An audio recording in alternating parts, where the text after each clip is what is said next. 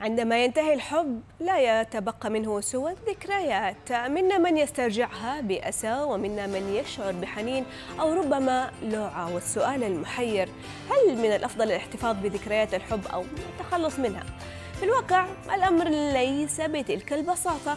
ذكريات الصور والرسائل والهدايا والتذكارات المشتركة التي كانت يوما رمزا للمحبة والمودة بين الحبيبين قد تتحول بسرعة كبيرة إلى محفزات مؤلمة لأوجاع القلب بعد الانفصال بحسب تحليلات علمية.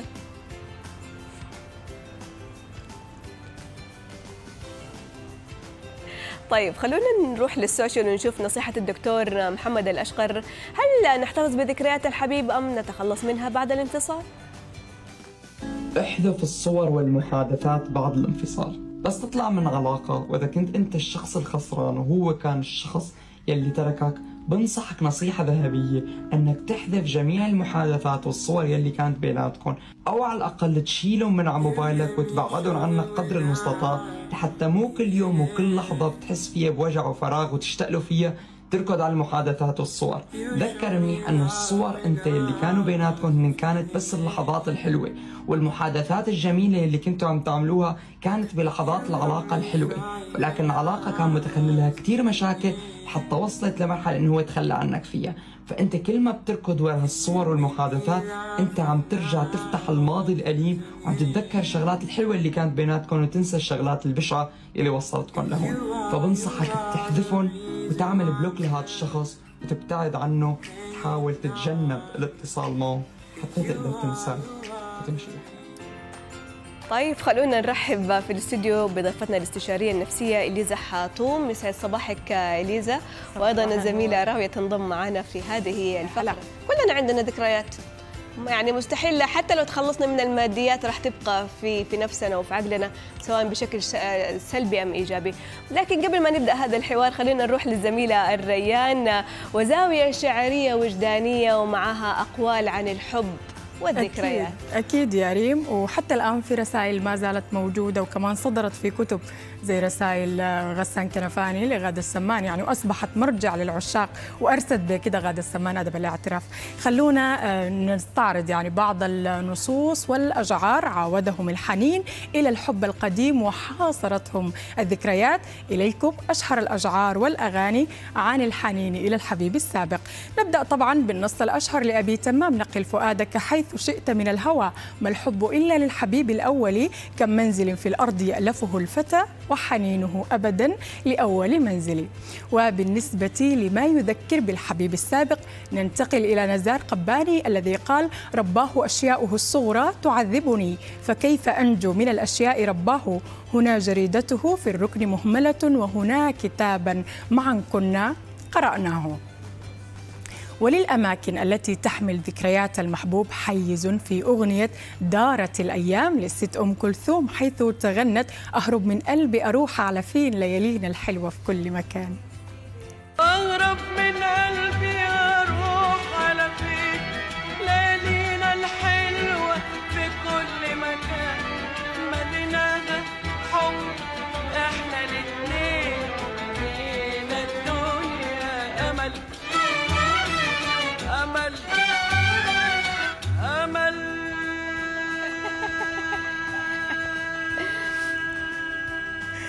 أما حديثا تناولت نوال الكويتية الحنين إلى الحب القديم بشكل رقيق مثل النسيم الساكن اللي مر لبغصنه تحرك. ذكراك مرتني بالصمت وجاء على بالي. كلام.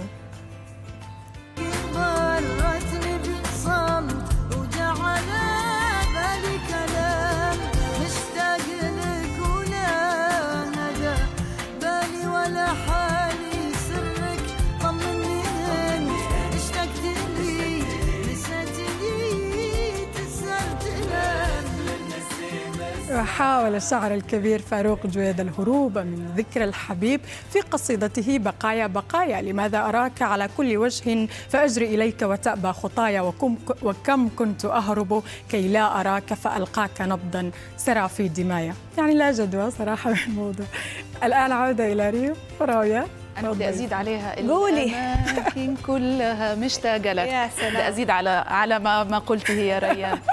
يعني شكرا لك يا ريان وشكرا على هذه القصائد الجميلة. وأكيد آه، طبعا حنرجع لضيفتنا. و- وما هو أفضل حل؟ يعني أحتفظ بالذكريات والألم والمعاناة ولا قد تكون هذه ذكريات جميلة ولا أتخلص منها لأنها بتسبب لي الألم والمعاناة؟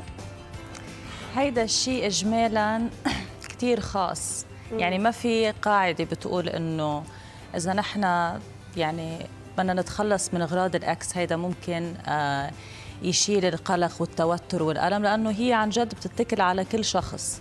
يعني أوقات في أشخاص إذا تخلصوا من الأشياء بتساعدهم يتخطوا وفي ناس بحسوا إنه لا أنا بحب أترك ذكرى حلوة من هيدا الشخص هلأ هي بتتكل إذا هيدا الشخص كان ذكرى حلوة بحياته. للإنسان وهذا أو وسبب لا. الانفصال كمان وهل صح. كان الانفصال مفروض علي صح. أم إنه كان باختياري بس طيب okay سهل إنه نتخلص من ذكريات ال- الحبيب السابق آه، الفعلية الحسية شو بالنسبة للذكريات اللي بنحملها بالقلب وبالعقل يعني بالقلب بالقلب. هو بيصير الإنسان هو بده يقيم كيف بده يكمل حياته لقدام.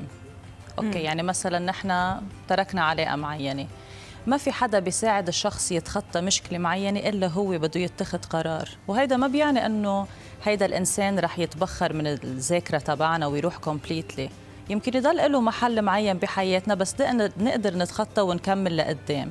حاملين معنا ذكرى حلوة.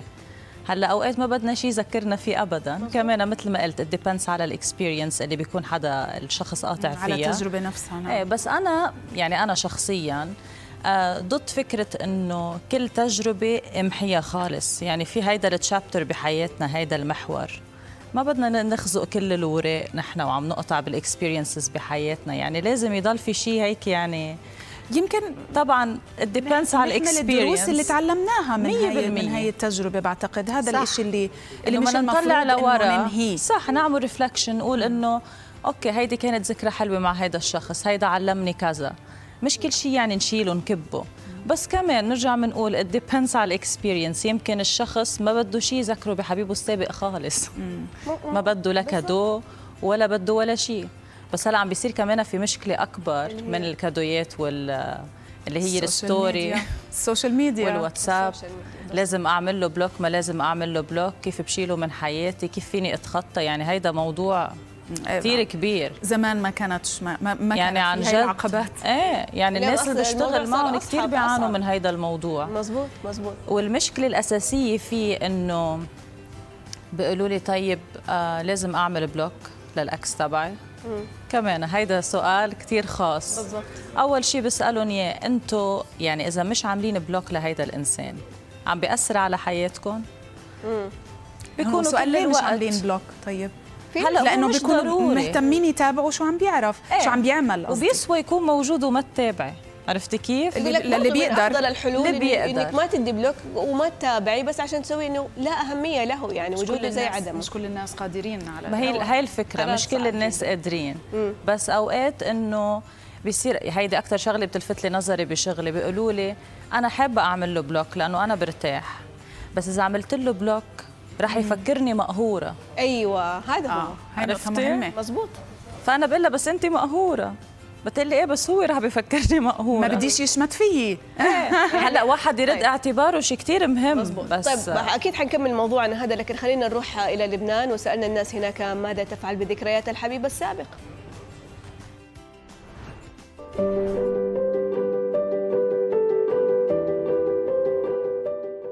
ذكريات ال ex يعني ب... هي ذكرى حلوة بتكون. بتعلم منها للمستقبل لتجربة ال next تجربة مثل ما بقولوا التجربة الجديدة بحياتي. حارقينهم خالصين منهم. بنظر اني حياة أخلاق وما في شيء بقى أتذكره منه. ما في ذكريات يعني.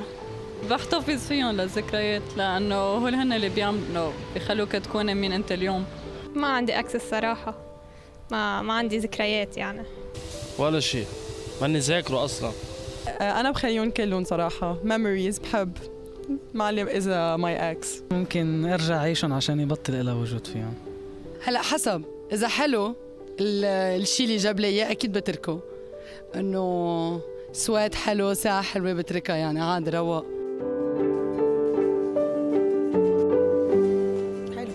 طيب خلينا ارجع لك آه، إليزا. يعني هناك أشخاص بنشوفهم قادرين بأنهم يحتفظوا بكل هذه الذكريات المادية الملموسة من صور وغيرها بتصالح أيضا.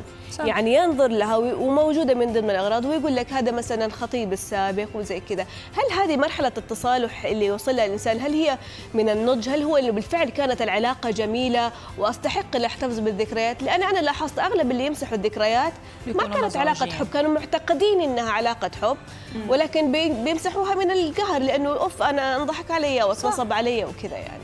هو ممكن مثل ما قلت يكون تصالح مع الذات إنه خلص أنا I made peace مع هيدي عملت سلام مع هيدي المرحلة من حياتي. ممكن انظر لها بطريقة إنه okay بغض النظر شو كانت قطعت وبطلت الأشياء تعمل trigger بالضبط ما ما؟ بتألمني يعني. إيه ما بتألمني. هيدي الفكرة إنه ما بتألمني.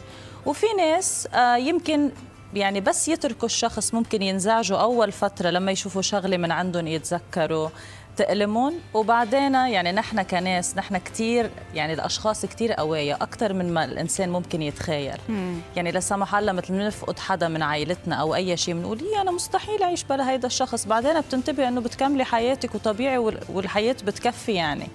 فعنا هيدي ال- شو بنقول المرونة النفسية يعني. بتبين بعدين لما نكون عم نتألم وهيدا. نعم. يعني هون بنقدر نقول الحمد لله على نعمة النسيان. حقيقي. إيه طبعا. جد الحمد لله. والوقت يعني heals والوقت أك- أكبر صح، كفيل. إنه كفيل. بذلك آه ليزا حطوم يعني شكرا لك وشكرا لوجودك شكراً. معنا على. الصباح. شكرا لك يا راوية thank you